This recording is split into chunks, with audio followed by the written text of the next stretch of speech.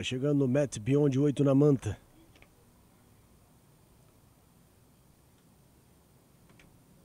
Tudo pronto. Vamos ao pulo. Real Impact. Rodando de vá, atenção. Oi dada a partida para o sétimo par, um tempo de atraso, 3 mil campione.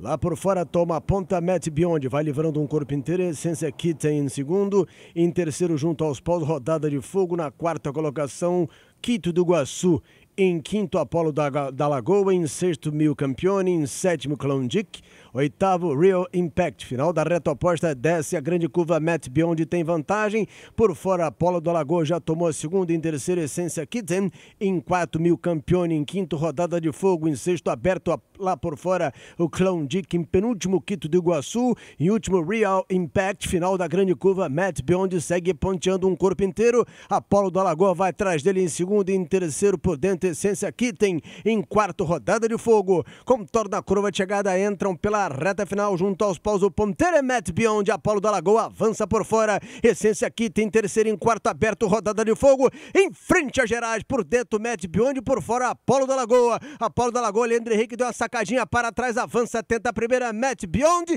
E Apolo da Lagoa agora o Leandro Henrique teve que se mexer. Por dentro Matt Beyond, por fora Apolo da Lagoa agarrados, cabeça a cabeça. Apolo da Lagoa tem cabeça, Matt Beyond tenta voltar. Apolo da Lagoa e Matt Beyond na ponta. Apolo da Lagoa, um de luz de vantagem. Matt Beyond em segundo, longe, essência, Kita em terceiro. Firme Apolo da Lagoa, cruza uma faixa final. Segundo Matt Beyond, depois Essência Kitten. Rodada de fogo, Quito do Iguaçu, Clondic. Real Impact até a última colocação, Mil Campione.